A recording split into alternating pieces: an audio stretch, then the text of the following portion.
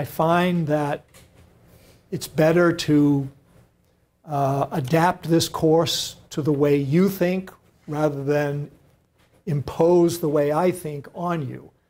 And since many of the questions that you have raised anticipate uh, the materials I'm going to cover, all it means is I'm going to take it out of order, uh, essentially at your request. So um, one of the things I really hope that you'll do is provide me with your feedback. And to that end, I know I gave out these little questionnaires for the first class. I forgot to bring them for, this, for the last class, so I'm going to hand out two today to everyone to fill out if you don't mind. You know, this is not mandatory. It, all it does is help me, so you may not want to do it, but I'm sorry? Oh, great, thanks. There's two there. There's, you know, there, there, there are two of them. There's one for the last class and one for this class. Um, obviously, if you weren't at the last class, then, um, well, you can fill it out if you want, but um, your comments will be weighted uh, against the fact that you weren't here. But anyhow, I really, I really find these useful, not only because I try to adapt the class um, to you, but it lets me know which way your, your minds are going, whether you're getting it, and um, whether I'm going too, fa- too fast or too slow. Or so, like I said, as a favor to me, if you have the time, you know, this is MIT. It's all about data points, data points, data points, data points, data points. So, um, with that in mind, um, I want to start this class by covering some of the questions that um, I received from students in the last couple of classes, um, both of all of which I found to be very useful. Um, and I think that this is the way, like I said, this is, this is the way to knowledge. Knowledge is the accidental byproduct of discussion fueled by curiosity. So this is the curiosity part, and hopefully what we'll do is turn it into knowledge by discussing it. So one of the first questions I got from uh, folks in this class, and this was uh, repeated a number of times, is how long do intellectual property rights last? Um, we've been talking about various types of intellectual property, patents, trademarks, copyrights, design patents. There are also plant, plant and animal patents. So there are various types of patents. Um, we talked about the Bible. We talked about expiration of copyright. So I think that that general discussion was responsible for uh, generating this question. So I thought it might be useful if I sort of covered um, the terms of various intellectual property rights. Um, first um, is utility and plant patent, patents, and this would also include animal patents. Uh, nowadays, we're patenting living things that are developed uh, or cloned in laboratories, so uh, as technology moves on, the types of intellectual property that need to be protected changes, of course. Uh, and in the United States, when it comes to utility patents and plant patents, um, for everything for everything that was filed after June 8, 1995, which is probably when most of you were born, um, so you don't need to be concerned about anything uh, much before that. The term of the patent is uh, 20 years from the date of filing. Now remember, in the United States, we're first to file state, uh, country now, which is different than it used to be. Uh, and the term of the patent is, uh, begins when the preliminary patent application is filed. So um, the clock begins to tick when you file your preliminary uh, patent application. Now, the, the terms of these patents can be extended for various reasons. One of the things that people often do, because it takes time to uh, uh, process a preliminary patent application, is they convert several pre preliminary patent applications into a final patent. And in that case, the clock begins to run when the final patent uh, application is approved. So uh, it depends on you know how many preliminary patent applications are being incorporated into one patent, or whether the preliminary application uh, is for one particular process or invention. Um, generally speaking, though, the term is 20 years from the date that you file your application. Um, design patents. Does anybody, um, does anybody know what a design patent is? Oh, okay. I'm sorry. Let me have your questions. I apologize. Oh, I was gonna say like the Coca-Cola shape. Gee, how did, uh, how did, how did you think of that? Absolutely. That, that- actually didn't see that. oh, you didn't see them? Okay. Well, you, you, you, you, uh, you anticipate a part of the lecture. model, though, not the- not Sure. All right. Uh, that's a that's a any any ornamental object that also has a functional purpose uh, is considered uh, eligible for a design patent. And that's different than a utility patent. Um, although, as we'll talk about later, you can have both. And the term for a design patent um, uh, is um, uh, 15 years. Um, one thing I wanted to point out is the United States Patent and Trademark Office doesn't tell you when your patent is going to expire. So if you own a patent or if you want to find out when somebody else's patent will expire, and you're wondering about that, you go to the USPTO website and they actually have a uh, app that you can, you know the old saying, there's an app for that? You can download the app and it's called a patent term calculator. And all you do is fill in the information from the USPTO website or from your own application, and it'll tell you when your patent is going to expire. And that's a really important thing, especially for uh, companies or persons who are looking to build on another patent or looking for when a particular patent will expire and the device moves into the, into the public domain. So um, everything you need to know about when a patent expires or even how to file one, you can find on the USPTO website. It's really user-friendly and it's intended actually for inventors. It's not uh, something that is too complicated. So um, I urge you to go on the USPTO website and just kind of uh, uh, look around there sometime. But they actually have a patent term app uh, calculator on the USPTO website. All right, as I said, the design patent is uh, 14 years, 15 years. How about copyrights? We talked a lot about copyrights earlier uh, this week. Um, what's the term for a copyright? The term for a copyright, if the author is known, is 70 years past the life of the author. So if you write a work, um, when, does the when does the copyright begin for when you, when you create a, a uh, uh, something that can be copyrighted? When does it begin? If you write, if you write a, a, a program or if you write a music, a, a musical song, when does, the, when does the copyright begin?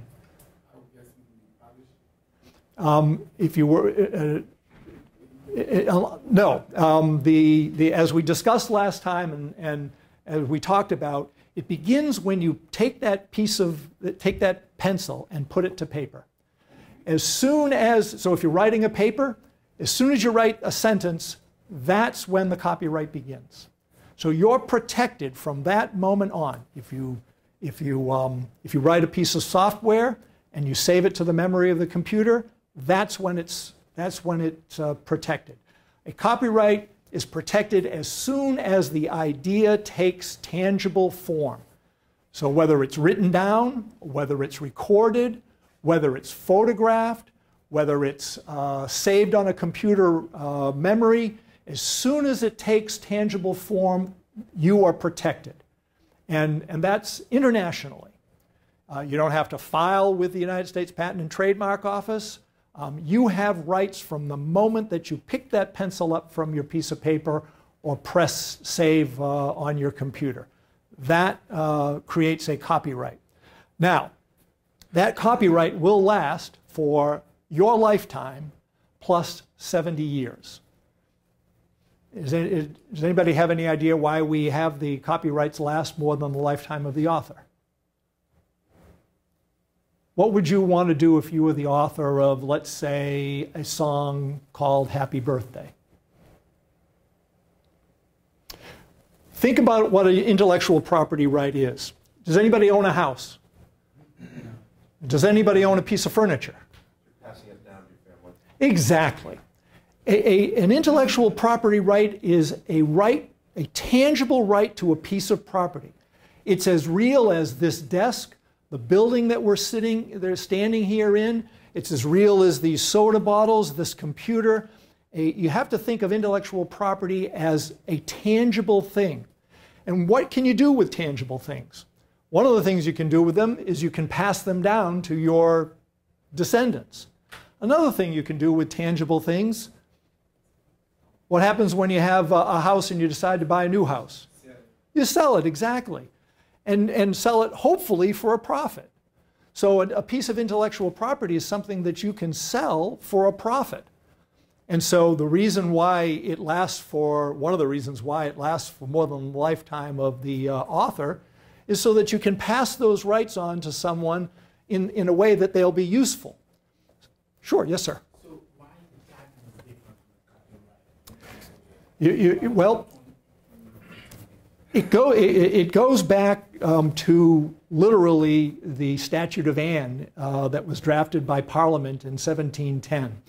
Uh, generally speaking, uh, these laws, which are drafted by legislators, um, legislators are social architects. And what they have to do is they have to do a balancing of what's best for society. And when it comes to intellectual property rights, um, what they balance is the right to protect the creator of the intellectual property, the inventor, the, the person that invented the mousetrap. They have to have uh, an opportunity to get their money back on, on their investment. Uh, but the other thing about intellectual property is that our entire well being as a society depends upon the development of intellectual property. No intellectual property, no advancement. Our entire society is based upon the advancement of science. And so, if we give exclusive rights to an invention or some scientific uh, invention or creation uh, and prevent it from being um, uh, going into the public domain, then we're depriving everyone of the benefits of that. And so, as, as the legislature sits there and considers these competing interests, uh, they, um, as our elected representatives, um, decide the terms of these patents. Now, the reason why they're 20 years is basically all of the countries in the world have sort of got together and, in sort of this patchwork framework, have basically decided that 20 years is about the term that um, everybody is uh, agreeable to. So these terms are not only developed as a, as a, as a concept of uh, the laws of individual countries, but they're, they're developed as part of a framework of international agreements. And so when it comes to patent technology, it's 20 years. Same thing goes for uh, copyright technology. Brian. So I have a question as it relates to student textbooks. So what happens if there's a second edition or third edition and they add another author into a later edition? If Uh, it's the last surviving person? Sure. Um, it's, that's an excellent question. The question, and of course, the answer, as, as, um, as I think I've mentioned uh, when it comes to law, uh, the answer is it depends. Um, if, this, if the subsequent edition has input or some creative input from another author, um, I would say that that's a separate copyright. Um, most likely, with a separate author, there are going to be changes to the text. So, gen- generally speaking, that would be a separate copyright. Um, as, as different editions are, are created, if it's simply a reprint of a prior edition, it probably does not qualify for a new copyright. But if there is any change at all, any updating, uh, and usually what publishers do is they update it in some way, and it, all, it only has to be infinitesimal. The tiniest change qualifies it for the, for, satisfies the originality uh, requirement. We'll get to that. So the, the clock begins to run when the second edition or the third edition or the fourth edition. I think maybe you know you can see why publishers uh, uh, create serial editions. It enables them to extend the copyright on a particular work. Uh, you can basically hold on to something basically forever if you're willing to uh, create new editions. Yes, sir. What about the rights to the first edition, though?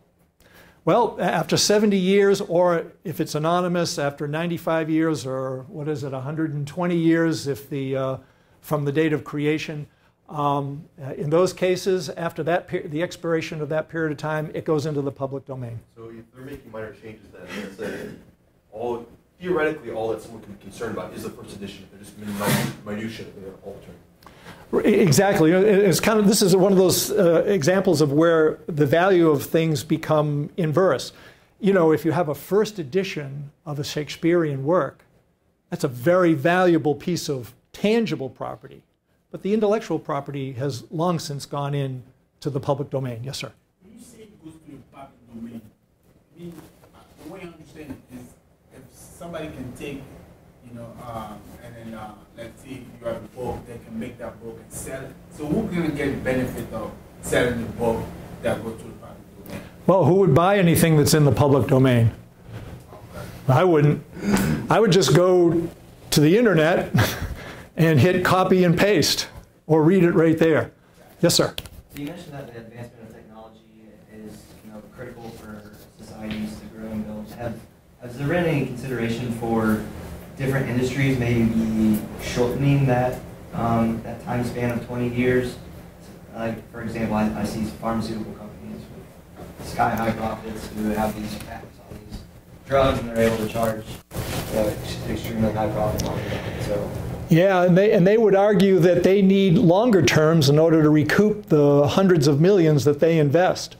And if you, if, if you, if you, look, at the, if you look at the legislative history of the, of the, um, uh, the Patent uh, and Copyrights Act, it's full of uh, stuff about uh, how we need to extend or, or shorten these things. Um, and, um, you know, the, the legislature takes it into consideration and, and makes, their, uh, makes their decision. But there are lots of arguments both ways. And as we'll show, I'll, because this gets to a question Brian asked after class last time that we're going to cover, there are ways of kind of doing an end run around. Uh, in fact, that's one of the reasons why I brought these here today. Uh, there, there are creative ways of making an end run around the short term for design and, um, and utility patents. Any other questions? Yes, sir. Um, so, if a book comes out with a new edition, there's just uh, minor changes, and the first edition, um, the copyright of the first edition expires. Yes. The parts that are not changed are still covered by the copyright of the new edition. If there, the if there is sufficient change, the first edition goes into the public domain. Yes. So that's gone. The second edition, if it has changed, if it meets the originality requirement, which we'll cover, and, and it really is a small amount of originality needed, uh, perhaps you know um, uh, some commentary, uh, something like that, an update. Uh, yes, for instance, I have seen books that are exactly the same, but just a chapter added at the end. Well, that's that's that's a new copyright. But all the chapters before are covered by the new copyright? New copyright. Yep. And so technically they are not in the public. The, the first edition is. The second edition is not, even though much of the text is identical. The second, the second one is copyrighted. Remember, the, the, the word copyright means right to copy. And that means the entire, the entire document. Okay, and that's why the that's why the copyright covers the entire document, and and that that goes for music, that goes for software. Imagine updating software. Well, the first part of the software usually uh, could perhaps go into the public domain, or maybe it was created before 1974, before they had um, protection for it. But if you build on it, if you improve it, that entire uh, piece of software is is copyrightable. My question was just on these dates, like 1974, 1978. what makes these dates important? You mean, you, you mean for, for- Or, yeah, you said 1978, but you just said 1974 for remember 1974, there, there was no Copyright Act prior to 1974. The first Copyright Act was enacted in the United States in 1974. Uh, 1978 is the, the date of the latest Copyright Act. So every now and then, Congress overhauls the intellectual property laws. They recently overhauled the, the patent uh, laws, which required us now to be a first to file state. That was a huge change. So periodically, Congress overhauls the intellectual property laws governing contract, trademark, and patents, and that's why that date is important. Because that's the date on which this, was, this, this uh, term was established, and, and it applies today. That law is still good today until Congress changes its mind, and then I'll be putting up another date up there. Okay? Yeah. So you mentioned that we're a first to file country several times now. What were we beforehand? Well, before it was uh, the first to invent. And it was always a big uh, thing in order to determine when there was a conflict uh, between own, uh, uh, pe- people that believed they owned a particular device. They would have to prove through notebooks and uh, laboratory data when it was that they first came up with this. Th- this was at the heart of the CRISPR decision. CRISPR was a pre first to file uh, patent uh, dispute. And so, in the, in the trial of that case, they were bringing in notebooks and showing the experiments that they ran for gene editing uh, out at the University of California. And the uh, Broad Institute here at MIT was showing the work that they did. And it was the judge, uh, it was the, uh, the duty of the court in that case, the jury in that case, to decide who was the first to invent. We don't have to worry about those uh, disputes anymore because now we're first to file. Uh, you know, whatever the date stamp is on your on your preliminary patent application, you know, whoever wins the the rush to the the race to the uh, U.S. Patent and Trademark Office wins, even if you thought of it before your competitor. So two two inventors, one comes up with the idea uh, two years ago. Somebody comes up with the idea today. They both go to the Patent and Trademark Office. The person that came up with the idea last is first to file. They own the patent. And that's the way it is in the United States. And that's the way it is all over the world now. We, we had to be brought kicking and screaming into the 21st century as far as patent uh, technology was concerned. But now we're, uh, now we're there. Um, trademarks. Uh, the anybody know uh, what a. Can you think of an idea or give me an example of a trademark? Anybody at all? Anybody think of anything, you know, um, that might constitute a trademark? There's someone with a very nice MIT uh, sweatshirt back there. Can you think of a trademark? Can you point to a trademark near and dear to your heart? Exactly. literally near, maybe not dear to your heart, but literally near to your heart. Yes, that's an example of a trademark. And MIT owns that trademark, and heaven help you if you violate uh, MIT's trademark. But also, you know, Pepsi and Coca Cola are examples of trademarks. The cool thing about trademarks is I never get a chance to, uh, to use the blackboard. But how long do trademarks last?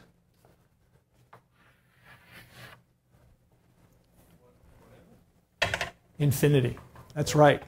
The cool thing about trademarks is that they can literally last forever. When, once you register a trademark with the USPTO, there are certain technical requirements that you have to follow. You have to re-register essentially uh, every periodically. Uh, you file uh, what's called an affidavit of continuous use. But so long as you continue to use your trademark, so long as you continue to use it in, in commerce, and so long as you don't abandon it, it's yours forever. Uh, and that's the cool thing about trademarks. And it's one of the ways that companies get around these shorter time limits that we've been talking about. Um, can anybody think of a company that maybe has used a trademark in order to circumvent the, the, the shorter time periods for patents uh, and, um, and copyrights? Anybody think of a company? Anybody think of any company at all?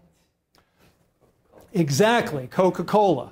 And I'll tell you why uh, as we go along.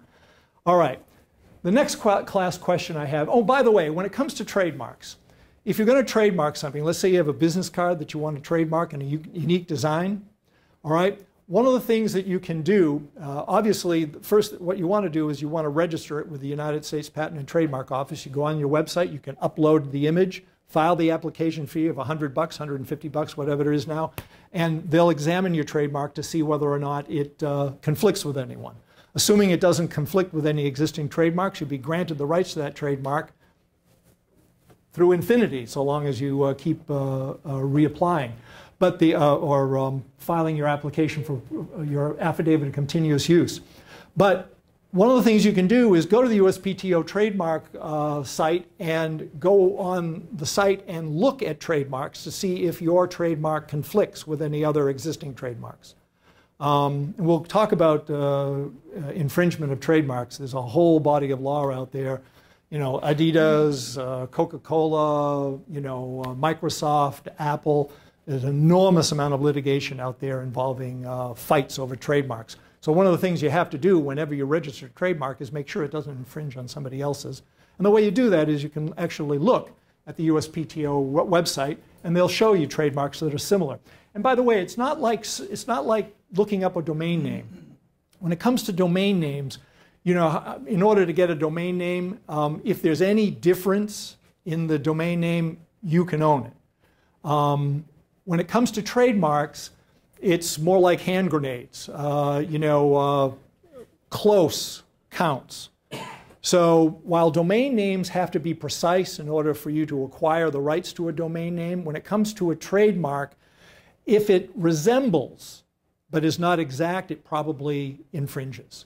So that's why it's always good to examine the USPTO website to see if your trademark uh, in any way infringes with something owned by Coca Cola or a Pepsi, because you want to avoid uh, doing that. All right. Second question I got was Were there any efficient ways to determine if someone is protected the idea before? Is there an efficient way to determine if someone has protected an idea before? How would you, as a student, as an entrepreneur, figure out whether or not something has been protected. Yes, sir. Google it. Yeah, that's a great idea. Exactly. What other way is there to, to, to, to find out if something's protected? Can you think of it? Let me see. Can I see that MIT shirt? Okay, so, so there's what I was looking for is one of these things. Anybody seen these logos before? You know what they stand for? Okay, I'll give you two guesses what TM stands for. What does that stand for? Exactly, trademark. And um, what's the R in the circle stand for? Anybody know? Has anybody seen that before? Registered. Exactly, registered. It's a registered trademark. So a trademark can be registered and it may not be registered. Any, any trademark or logo that you begin using is your intellectual property. It's not necessary for you to, to register it. Uh, unless, of course, you get into a dispute and you want to enforce the rights, then you need to register it, but um, under federal law. But if it's registered with the USPTO, then the R with the circle applies. Anybody know what the C with the circle applies to? Anybody seen that in the first page of a book you've, re you've read recently? Anybody read books anymore? I don't know. Um, but yeah, that stands for copyright. Um, and um, uh, SM, anybody have any idea what SM stands for? It stands for service mark. And that's the same as a trademark, but instead of pertaining to a product, it pertains to a service. Give anybody give me an example of a service mark that you've heard of? About the American College of uh, Pediatrics, American Medical Association, um, that's, that's, it, that's an idea, that's an example of a service mark. Okay, so the, uh, what is a copyright? The term, uh, as we've discussed, has come to be, what it basically means is you have the right to copy. And this is an example of the symbol for uh, copyright. Uh, now, um, uh, way back in the olden days, uh, when copyright was first uh, uh, begun, uh, the author of a, of a copyright had to write a long phrase on their, on their creative work. Um, they, um, uh, what they had to do is, I want to try to find it. Um, they had to write, entered according to Act of Congress in the year by AB in the office of the Librarian of Congress at Washington. That's according to the 1802 Copyright Act. You can see that that would be a little cumbersome when it came to wanting to copyright a book, but think about a painting or a sculpture. Uh, think about almost anything other than a book. That really becomes cumbersome. As time has gone by, what Congress has done is they've shortened the phrase that you had to uh, use in order to denote a copyright uh, item. And in fact, at one point, they finally allowed uh, uh artists to print the uh, C uh, on whatever was framing their work of art or their photograph. It, you know, if you look at any photograph that you, that you Google, um, you'll find that they usually, the author or the owner of the act, of the, of the photograph, will have, a, um, uh, will have some indication on there that it's copyrighted or protected intellectual property. Yes, sir. Yeah, so I, I, uh, I mean, I question. You know, you mentioned that when, when you, you, you know, you start writing a book, the minute that you start writing down paper you protect. That's right. Okay, what about if I have an idea? Let's say I want to, I want to design a website or something like that, and then uh, one of my friends comes and I let him know about the idea, and then he goes behind me and uh, actually make his own. Uh-huh. When you say nothing, unless you enter into a non-disclosure agreement with you, um, intellectual property rights do not attach until the idea is expressed in a tangible form. So it has to be on a piece of paper. It has to be on the RAM of a computer. It has to be photographed. It has to be recorded electronically or by sound. While it's an idea, it's not protected. That's why we have non disclosure agreements. Because you sit down with someone you say, hey, I have a great idea. Well, what protects you from their going out and expressing that idea in tangible form and owning your idea is the non disclosure agreement. Never talk to anybody about your great ideas until you have a non disclosure agreement. And what if I put it written down and the piece of paper is uh, stolen? well, you're going to have a hard time proving it. Um, you have the intellectual property right, but I don't think you're going to win your case because you're not going to be able to hand me a piece of paper to show to the court proving that that idea has been expressed in a tangible form. So do you suggest to write ourselves an email with all the ideas uh, so that we... Oh, that's one way of doing it. Not a bad idea. Why not? Why not? A better idea would be to express it in some formal way and register it with the, uh, with the uh, Patent and Trademark Office, you know? Uh, but that's one way uh, when it comes to copyright.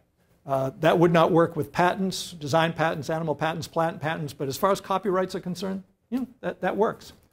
How do you know if something's patented? Well, have you ever seen this before? You know, oftentimes you can buy one of these stamps actually at, uh, I, I checked, at Staples, you know.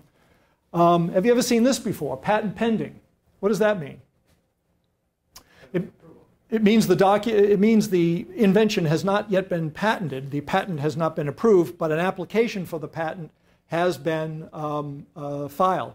And this is, this is a notice to the world that what you're looking at is the intellectual property of someone else. That's why they have these, these things on the, on the documents. Yes, sir. Another question. Yeah. Um, so they just mentioned that you get patent pain. Yep. So if someone in Germany, by the time my uh, patent gets approved, he, he come up with something like that, that it gets approved before mine, who, who gets the... Nowadays, it's the, uh, the person that filed first. Whoever, whoever won, wins the race to the USPTO, whether it's in the United States or in, or in Germany, whoever wins the, the race to the, uh, to the patent office owns the patent. If you're there 10 seconds after the other guy, you lose, even if you thought of it five years before.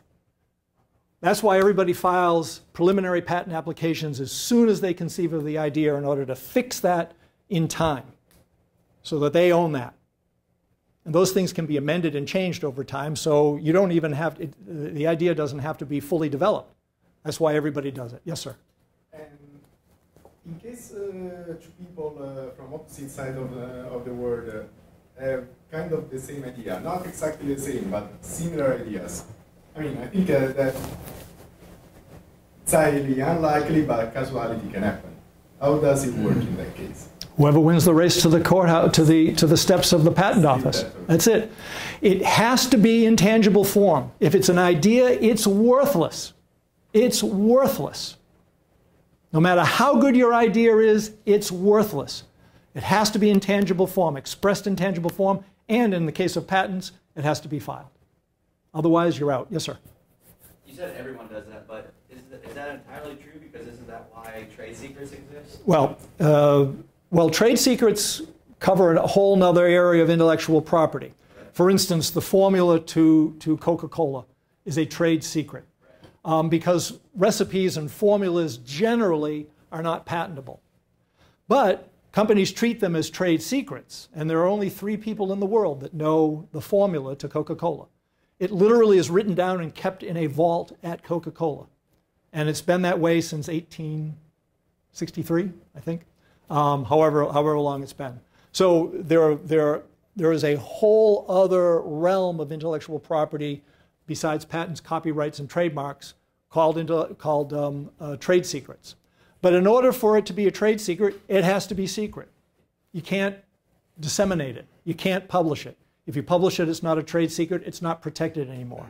But if somebody comes up with the, with the formula for Coca-Cola and they did nothing, nothing to publish that formula, uh, and they come up with it um, by violating the trade secret, Coca-Cola can enforce those rights. In other words, you break into Coca Cola, you open up the vault, you take the formula out, you photograph it, you bring it back, you, you start your own company. Coca Cola has a right to enforce that intellectual property, the theft of that intellectual property. Okay? But it's not protectable unless you treat it like a secret. And it also has to have commercial application. It can't just be, you know. Brian. You have an NDA, and the company has to spin off or some way changes the name it's operating business under. Is the NDA still enforceable? Depends on the NDA. I've seen one sentence NDAs which are uh, which would cover everything, and I've seen other NDAs which you know are very specific and limited. Uh, if uh, you come to my office and you want and someone's asking you to sign an, an MDA, I'm going to try to get that MD, NDA to be as limited as possible uh, because I don't want to give away your rights. Then again, if you're the owner of the company and you say, Steve, I want your firm to design an NDA for me that will fully protect us, it's probably going to be pretty broad. So it depends on the NDA. Always read the NDAs. Never sign anything you don't understand. All right. Um, so the United States Patent and Trademark Office is the federal agency that's responsible for determining whether or not uh, a particular invention qualifies. Uh, and since the underlying purpose of a patent uh, is to protect the inventor's rights to a unique invention, um, similar inventions won't receive a, a, a, a second patent. Uh, so the point of that is that when you're filing a patent application or preliminary patent application, it's essential for you to go to the USPTO website and re research their database. Well, let's say you've invented a new bottle. You literally go to the USPTO uh, website, you look up bottles, and you look at all the state of the art, all of the patents that exist for bottles out there. And you find out whether or not your innovation is sufficiently original to qualify for patent, uh, patent recognition. If it's the same as something someone's already done, it's unlikely that you're going to get a patent for it. And in order to determine that, you literally go to the USPTO website and look it up. Now, there are companies that actually perform this function, this service. So, um, this is a very complex area of uh, intellectual property law in some cases. And so, there are companies that perform patent searches in order to determine the state of the art and see what's out there. So, that's one of the things that you, uh, that you or if, if you have a very valuable idea, you may hire someone to do for you to determine whether or not it's patentable.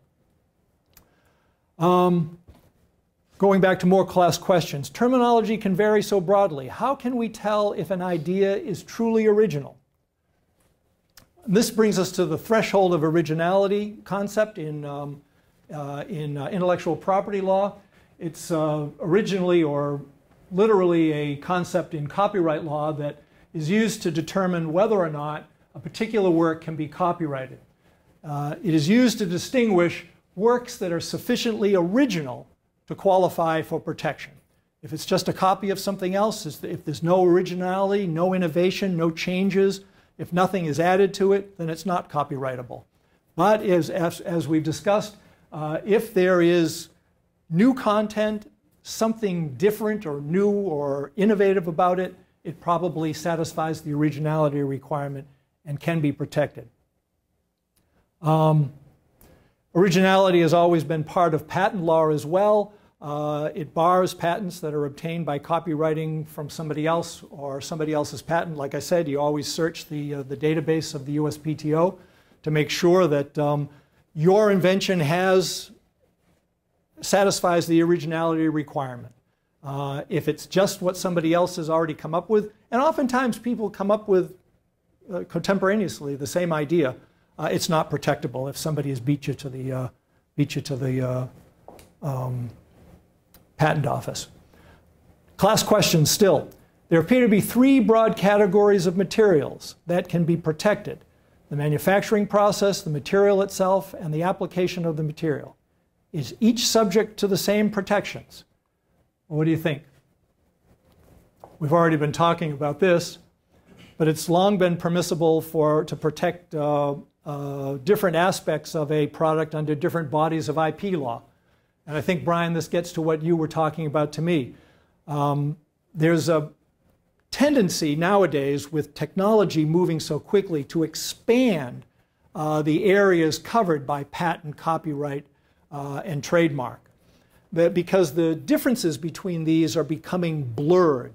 You know, it used to be you'd write a book and that's, that's, that's copyright, but now it's software, uh, it's formulas, um, there's, there's so many things that qualify uh, for um, uh, protection uh, simultaneously that sometimes things qualify for to be protected under more than one uh, statute. They can, some things can be patented as well as copyrighted, and they can be uh, even trademarked.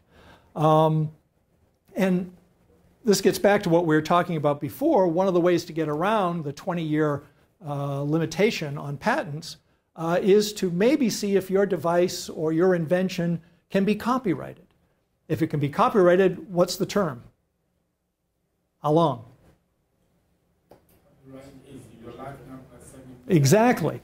That's better than 20, right? And if you can trademark it, how long are those intellectual property rights protected? Exactly infinity.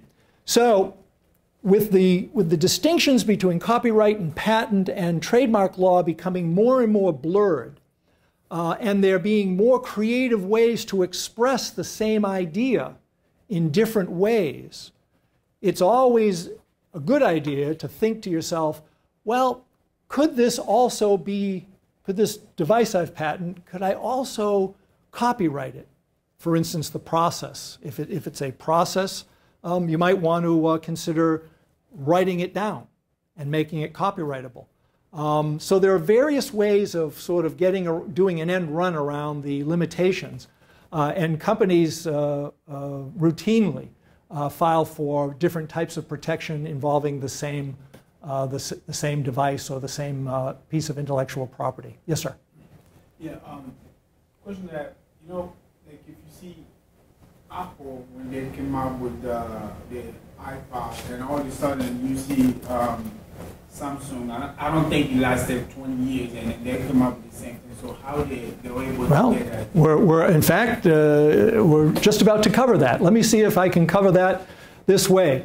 Um, one of the things that, as I was just talking about, copyright law nowadays covers many things software, building designs, three dimensional commercial products such as jewelry or a lamp, directories, compilations of fact, financial reports, music, movies, pantomimes, choreography, photographs, sound recordings, even the bar exam uh, that I have to take, uh, all covered by copyright. But if, if you look at that list, a lot of those things also apply to devices and would, be, and would qualify for either design uh, or um, our utility patents. So examples of uh, overlapping protection. Anybody recognize this? Exactly. Um, this is literally the image uh, from the design patent that was granted to Coca-Cola in 1916 by the U.S. Patent uh, and Trademark Office. Um, it's uh, design patent number 63657, uh, and um, it was subsequently registered as a trademark.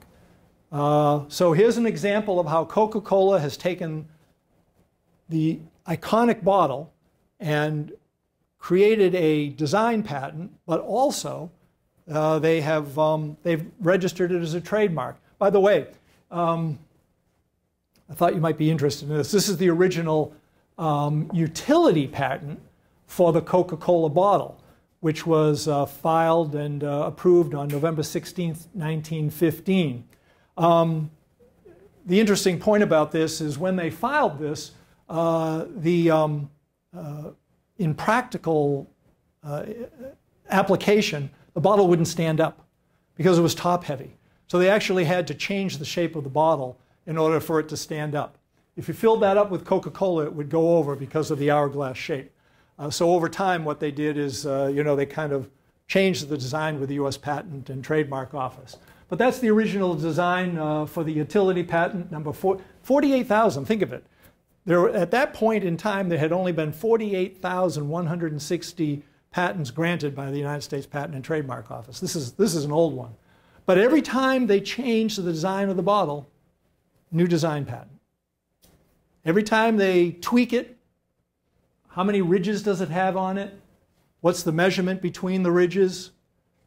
How is the, how is the neck shaped? New patent, new design patent.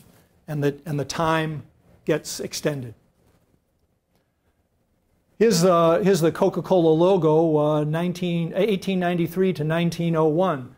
If um, you notice right here, if you can see it, in that little tail of the C, it says trademark. Back in those days, you had to indicate that the mark was, was uh, trademarked. Nowadays, you don't have to do it.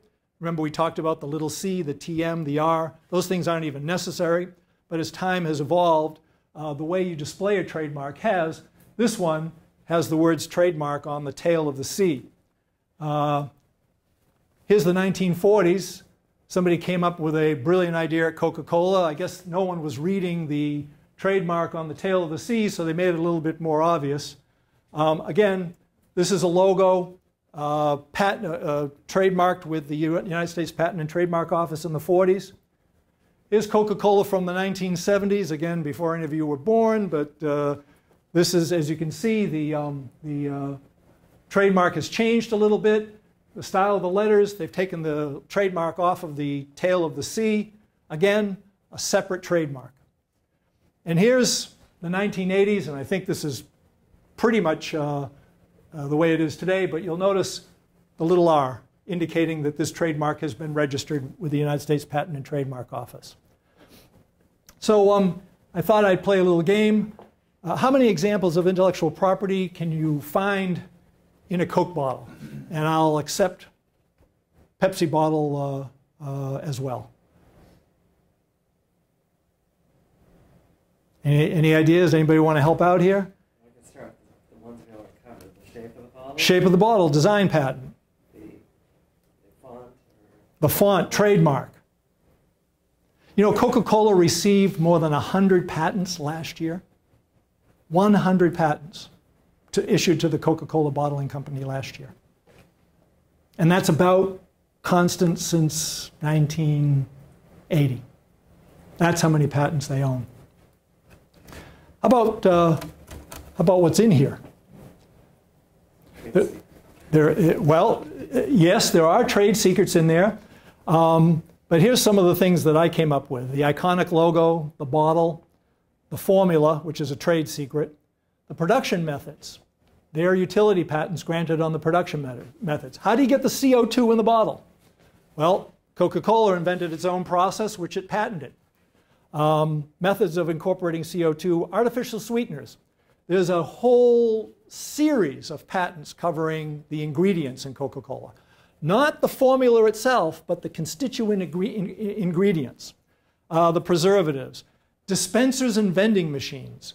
Coca Cola has more patents on dispensers and vending machines than they have on the, um, the, the uh, product itself. Um, and here's, uh, here's the patent for the high potency, potency sweetener composition with antioxidant and composition sweetened therewith, which was a patent filed in 1916, uh, uh, 19, 2016 by Coca Cola. Yes, sir, Brian.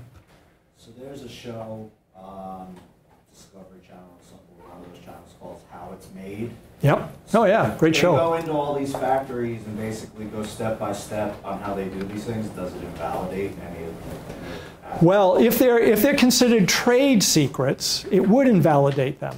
And in, on that same show, they did a show about um, the, the high speed trains in, in Japan. And you know, when the cameras came close to the uh, high speed train uh, in the maintenance facility, they, they blacked it out in order to protect their proprietary information. Although if it's patented, it doesn't matter who sees it, no one can use it. But there are, there's patented technology and, and proprietary technology which they don't allow those shows to, uh, uh, to see. Uh, anything on those shows is basically off the shelf technology. Uh, We've run out of time. I'm sorry. I wanted to get to the whole Bible thing that we talked about last week because I found it so interesting that I went and researched it. And the answers that we came up with intuitively were correct, but I'll cover that the next time just because it's a point of interest. Um, there's a whole body of intellectual property law that has uh, involved spiritual writing, and it has literally saved several religions. So I'll go into that the next time we sit down and talk. Anyhow, thanks for coming today. Have a nice weekend. Next week, I'm Thursday and Friday, is that right? I think I'm Thursday and Friday. Next Monday is day off, so Tuesday is Monday. So since we're not meeting on Tuesday because it's Monday, we're meeting Thursday and Friday. And if that's clear to you, you're better than I am. While she still has, uh, is this still running? Yes. The links are active on Stellar to upload the Oh. half-page, um, uh, student paper topics and the one-page modules. Yes, for your, for your um, student assignments, uh, the links are active on the student website so you can upload your assignments.